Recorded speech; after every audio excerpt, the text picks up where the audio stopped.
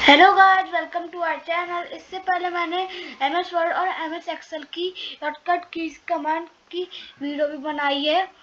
और अब ये कुछ स्पिनिंग टूल शॉर्टकट कीज की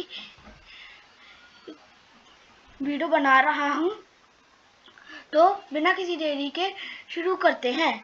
Alt plus M is used for select a screen capture mode. You can use the up and down arrow keys to select the prefer mode. Snipping tool offers four mode free from snap rectangular tool with no snap, full screen snap. L plus N or control plus N का same मतलब होता है is use for start a new screen shot in the same mode at last one L plus D is use for delay the screen shot by one two five second control plus H is use for save the screen shot E S is use for cancel the snipping control plus is use for copy the screen shot to clipboard control plus B is use for print the screenshot Control plus E is used for edit the screenshot in Paint 3D. L plus F is used for open file menu. L plus T is used for then press P.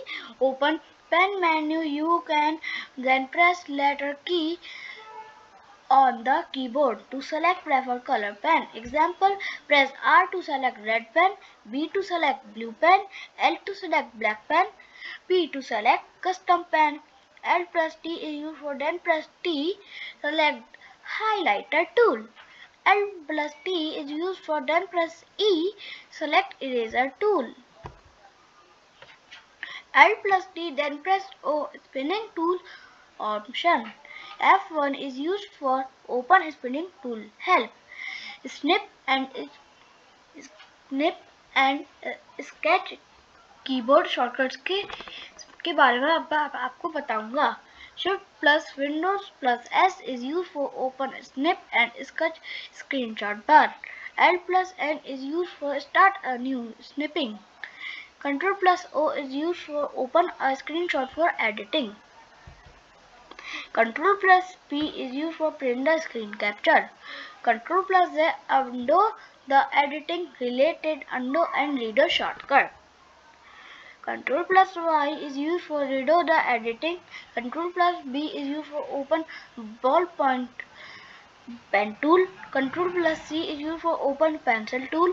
Control plus H is used for open highlighter tool. Control plus E is used for open eraser tool. Control plus R is used for open crop tool. Control plus Z open zoom tool. Control plus S is used for save the screen capture. Control plus C copy the screenshot. Control plus A is used for share screenshot. तो गाय आज की video यहीं ख़त्म होती है और अगर आपको और वीडियोस बनवाने हैं तो फिर हमारी इस वीडियो को और भी वीडियोस को लाइक करो शेयर करो और सब्सक्राइब करो